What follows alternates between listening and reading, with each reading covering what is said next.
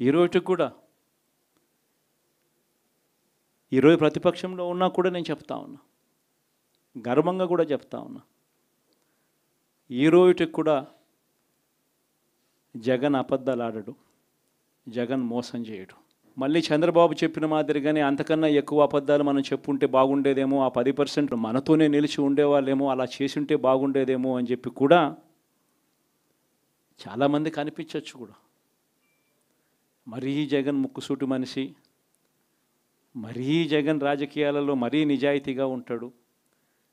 ఇంత నిజాయితీగా ఉండడం కరెక్ట్ కాదేమో అని. కానీ ఒకటే చెప్తా ఉన్నా.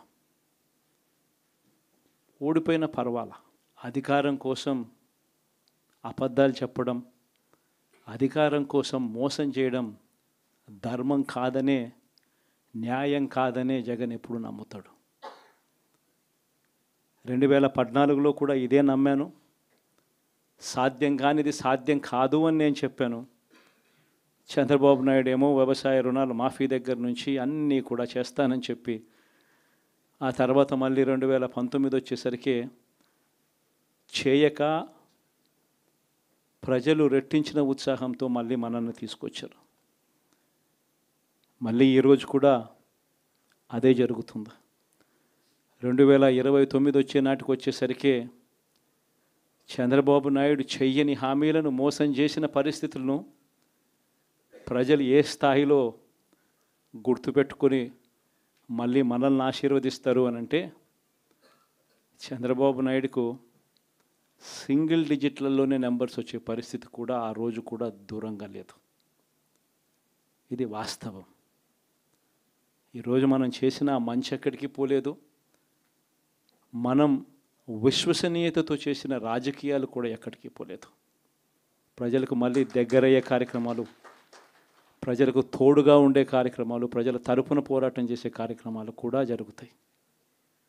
అసెంబ్లీలో బహుశా మనం చేయగలిగింది తక్కువే ఉంటుంది? ఎందుకంటే మనకు వచ్చిన సంఖ్యాబలం కూడా చాలా తక్కువే. పైగా కౌరవ సామ్రాజ్యం లేకపోతా ఉన్నాం.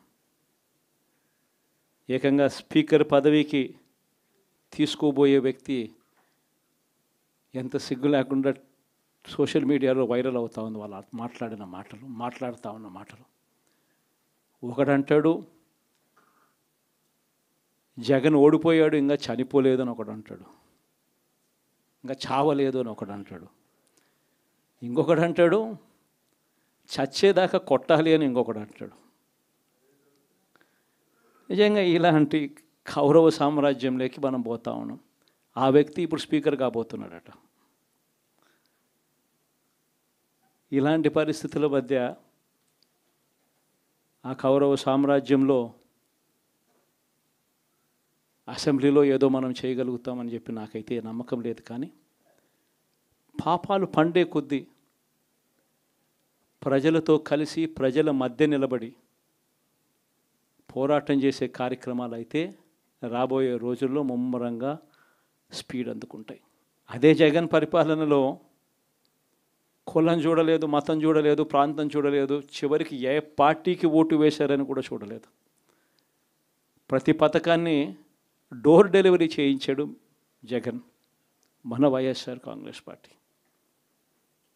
కానీ ఈరోజు కేవలం వాళ్ళ పార్టీకి ఓటు వేయలేదు అన్న ఒకే ఒక్క కారణంతో ఏకంగా మనుషులను కొడతా ఉన్నారంటే ఆస్తులను ధ్వంసం చేస్తూ ఉన్నారు అని అంటే